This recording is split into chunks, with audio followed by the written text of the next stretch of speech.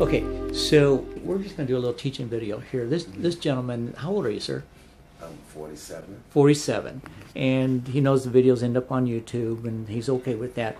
But um, he's got he's got diabetes and he's got peripheral neuropathy, and you have you came in, you'd run out of your medicines, but you came in also because you were having pain in your down in your hands, My and and in your feet. feet, and and they were like what 10 out of It was like 10. It was, just excruciating. Excruciating. hardly take the Yeah. So so we did give you we did give you like two two Percocets, all right. Yes. But in the past, the Percocets really never took your pain away, right? No. Okay. Normally, what how much pain medicine are you on at home? Um, Percocet 10, 325, just like um, as needed. Okay. Yes.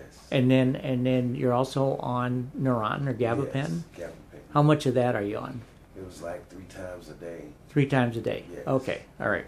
So even though the doctor who had seen you earlier in the afternoon had gone ahead and, and ordered the Percocets, I thought let's try some low dose ketamine on you. And you've never had this. I have never even heard of it. All right. And it was uh, 0.3 milligrams per kilogram. We gave it over 15 minutes. Yes. It made you feel a little goofy for a Yeah, minute there. Goofy and Yeah. Well, how did it make you feel? smiling. It eased my pain, and it was like at first when it kicked in, I couldn't feel anything, and I was like, "Wow, the pain's gone. I don't feel anything." And then all of a sudden, I came around, and it's like it just jump started me or something. My feet Yeah. feel a whole lot better. They're not hurting and throbbing like they they was, and my hands feel so much better because when I came in, I was doing my hands like this.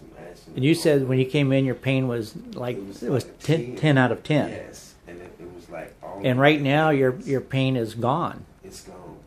Okay. And that was probably you got that probably an hour ago. Yes. Okay.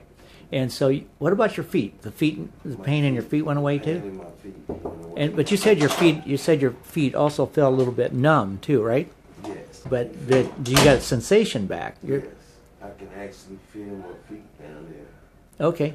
That's that's crazy.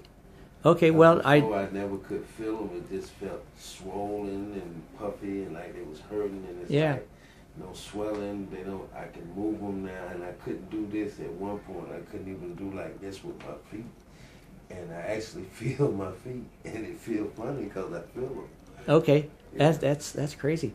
So, how long is this going to last? I'm not sure. It could be you could have benefit from this for a couple days. All right, but um, doggone it, a couple days is Yes. valuable when you're having chronic pain, right? Yes.